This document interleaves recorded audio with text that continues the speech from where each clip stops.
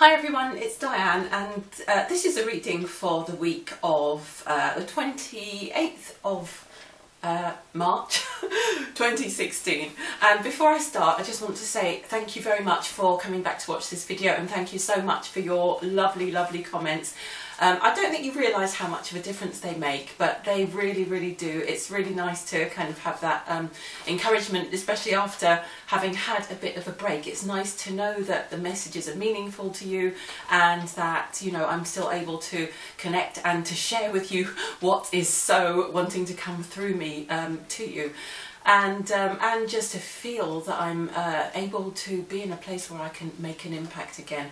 It's so important. There have been so many changes in my life in recent years and I tend not to talk about things um, of that nature very much but um, I have to tell you it's been quite tumultuous and I have missed uh, doing this so much as a part of my work so I'm really excited about being back and really excited about sharing today's message. So um, the message I've got from the little book of daily guidance is, ah, okay. It's really interesting because I thought it was one and it's actually another.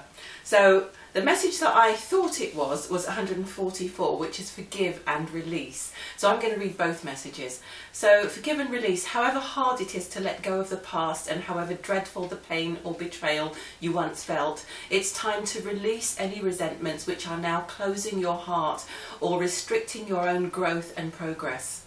Remember that every unforgiving thought or energy is like a burden on your energy field and an unhealthy hindrance to your powers of attraction. So, this week we really are looking forward to moving ahead with new plans, moving ahead with new ideas about who we are, about how we want to interact with the world, about how we want to be of service, how we want to present our work, our legacy, the essence of our being, how we want to present ourselves really. And so this is really uh, a message that's saying, that's reminding us that however we want to present ourselves, we need to be aware that all the thoughts that we're carrying, all the thoughts that are not in light will be coming with us on our new journey if we don't release them and let them go. And when we're trying to get into our hearts more or allow what's trying to flow in or allow a greater expansion that's going to help us to manifest a truer destiny, a, a lighter destiny and to manifest, you know, all the things that we're really looking for at the moment which are to do with feeling purposeful, making a contribution, being creative and really, really stepping into our true golden path of spirit, of, of walking ahead with confidence, or just increasing ourselves generally. So for some it will be increasing the sense of freedom we have in our lives, increasing the sense of mobility, increasing um, abundance, increasing our connection with others, um, our communication, our relationships, improving our relationships. So however it is that you're hoping to expand at the moment, it's important to let go of all the thoughts and feelings you have about why it hasn't worked in the past and therefore might not work in the future. Or if you're holding any resentment towards someone still, at least in the moment when you're dreaming of how you're going to move ahead, release those thoughts. Release the thoughts that are keeping you stuck in that pattern still of connecting with that lower energy because whenever we're thinking of someone or something or some some uh, event or or injustice from the past, we're reconnecting with that energy and we are kind of essentially bringing it back into our experience. So we want to walk on a new road, on new roads energetically, and in order to do that, we have to literally make a shift in consciousness and decide that we are going to walk on those roads fully. So it's time to not just watch our thoughts in terms of watching each individual thought because you can get a bit neurotic like that. Oh my god, I just thought something negative. What am I going to do? Cancel, cancel. It's not that. It's really about spreading your heart across the entire spectrum of experience and allowing that to overtake and be the predominant energy, the predominant guiding principle and the place where you really want to live because we don't actually live anywhere physically. We either live in our hearts or we don't. And if we live in our hearts, we'll be taken to the right places, the right situations, the right things, the right people at precisely the right time, my guides are saying. I'm feeling a strong sense of Archangel Michael around, so I know that a lot of us are experiencing ascension, experiencing a huge leap ahead, and as a result of that leap ahead, being asked to make big changes in our practical physical reality so that we can really embrace that divine essence even more strongly. So it's even more important this week as we step onto that lighter path to release the baggage of the past. Okay, so um, as we step onto that lighter path, release the baggage of the past. Walk in love not because you are condoning the misdeeds of others, but because it feels better and will serve you better in the present moment. Dig deep, forgive and release. Surrender dark thoughts and walk into the sunshine towards a new life. By the way, it's a bit late, but happy spring, happy uh, spring equinox. Um, uh, for those who celebrate it or who are experiencing spring at this time of year, and happy Easter for those who celebrate it. Okay, so it really is time for um, a rebirth. It's time for a new beginning, and it's time for us to let go of the old so that we can embrace that new beginning. Okay, the second message, the message I actually uh, thought, well, the message that was written down was 144, and I thought it was 145, so I've read you that one. The message it actually was, which I'm just going to kind of translate that into the universe's way of saying, well, actually, it's both messages. Um, follow your heart, which is a lovely uh, way of uh, moving from releasing and forgiving, moving into that heart energy a bit more.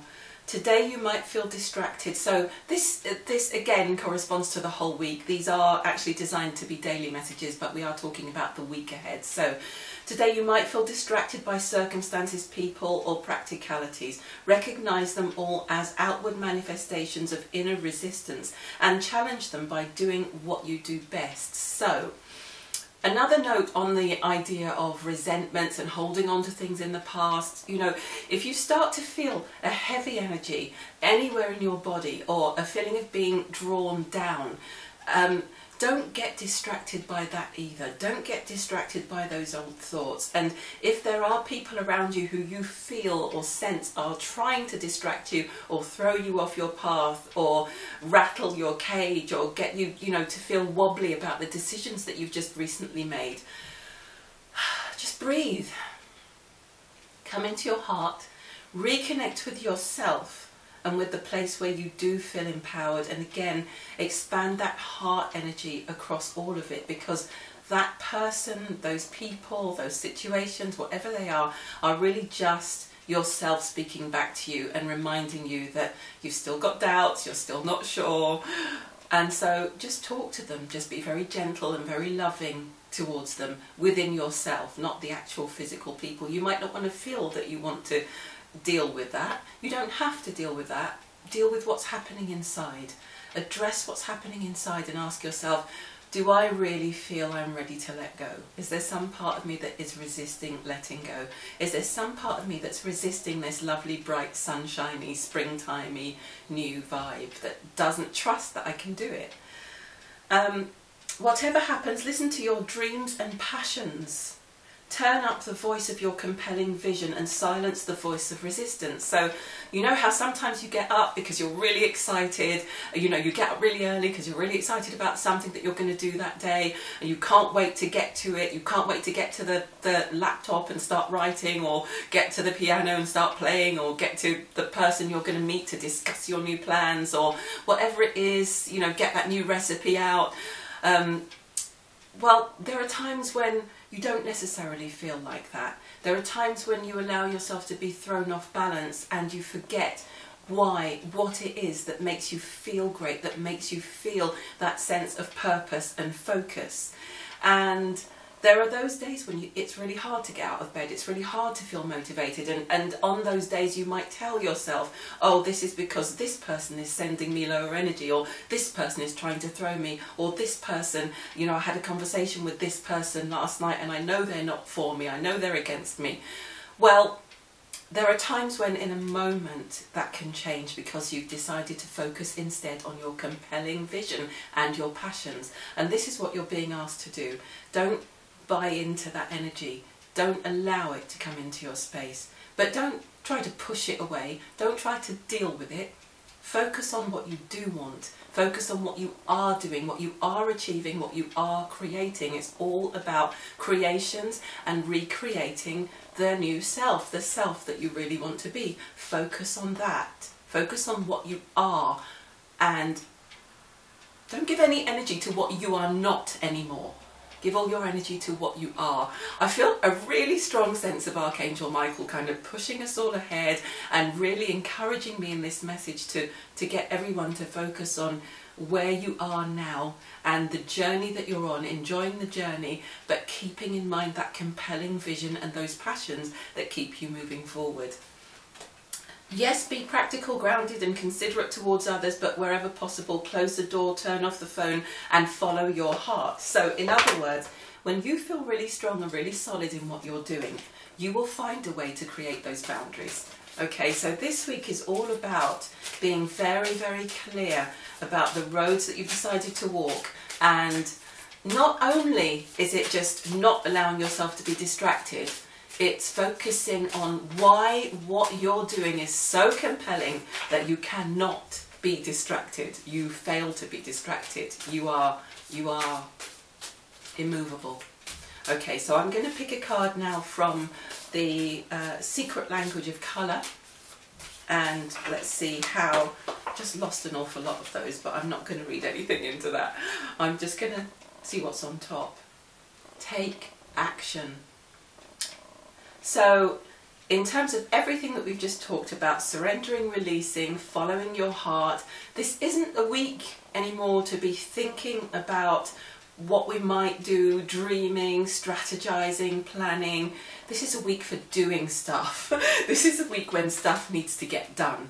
So, in terms of how you move ahead and how you uh, just push those distractions aside. It's going to be by doing things, it's going to be by making calls, it's going to be getting creative and putting your creativity out into the world and not holding back anymore. It's going to be making a bold step that then gives you a sense of, okay, I did that and it seemed to work out okay and you know it seemed to be received quite well so I'm going to do something else and then something else and do something else. And that might mean doing something that scares you a bit but this is the week to do something that scares you a bit. Just jump in. I'm going to pick the card from the Dolphins and Mermaids deck by Doreen Virtue um, because I find them very, very clear. And I also feel that as we've just moved out of Pisces, the Pisces energy, and moved into Aries, some of us who are kind of quite um, quite sensitive and watery might want to bring some of that watery energy back in. So I'm going to choose uh, one of these just to go, just to round off that message and to give us a bit more of an indication of how we can surrender and release the past and move into our heart's true calling is what I'm hearing with action. Oh, interesting. Okay, so the card is rest.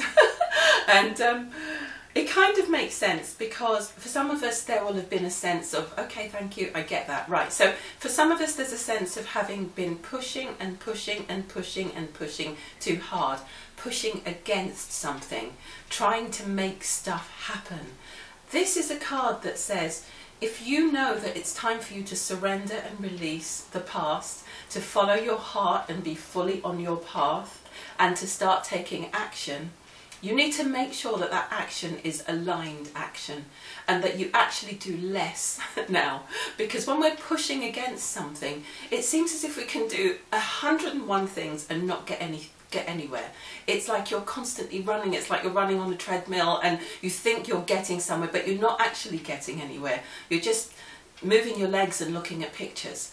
So this is a week to step back Take rest when you need to, and if that rest turns out to be meditation that allows you to go inside and say, well, if I just take one action this week, what would be the most powerful single action that I would take in this week? From a place of rest, from a place of deep meditation and alignment and heart expansion and coming back into my true, true essence of being.